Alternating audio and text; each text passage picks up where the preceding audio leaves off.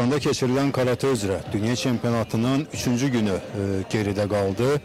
E, Bugün qızlarımız e, komanda yarışında, həmçinin para karateçilərimiz fərdi yarışlarında e, qüvvələrini sıra- sınadılar. E, Para karateçilərimiz e, günü e, ən azı bir medalla başa vurdular. Belə ki, e, finala vəsiqə qazanan e, Emilia e, Mislinova e, finala vəsiqə qazanmaqla e, İrina kimi ən azı e, fəxri kürsüdəki yerini təmin etdi və o ən azı e, gümüş medalı rəsmiləşdirdi. O e, həlləyici çıxışını e, son gündə oktyabrın 29-unda keçirəcək və orada da qələbə qazanacağı təqdirdə e, qızıl medala e, sahib çıxacaq.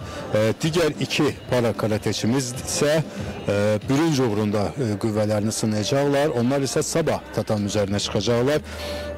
Ə, Söhbət Eldar Əhmədovla ə, Vidadi Xalıqovdan gedir. Hər iki para karateçimiz 3-cü yer uğrunda qüvvələrini, qüvvəsini sınayacaq. Ə, Bundan başqa ə, digər para karateçilərimiz ə, Nihat ə, Məmmədzadə ə, və ə, Ariana Mislinova ə, medalsız qaldılar. Ə, a- Bundan başqa qızlardan ibarət komandamız da, millimiz də komanda yarışına çıxdı. Ə, İrina Zaretska, ə, Renata Ərəbli və Mə- Mədinə Sadıqovadan ibarət kollektivimiz ilk mərhələdəcə Əlcəzairli həmkarlarını uduzdular. İlk görüşdə Renata ilə Mədinə məğlub olduğu üçün İrinanın çıxışına ehtiyac qalmadı və millimiz məğlub oldu.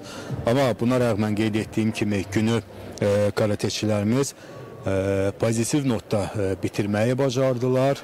İrina ilə Emilia, Emi- İrina ilə yanaşı Emilia da finala vəsiqə qazandı. Bu isə deməkdir ki, ən azı dünya çempionatında 2 medalımız var. Digər iki karateçimiz, para karateçimiz Vidadi ilə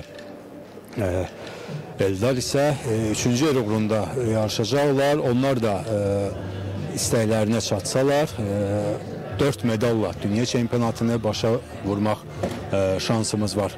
Mənim bu günə çatdıracaqlarım hələlik bu qədər. Realda qalın.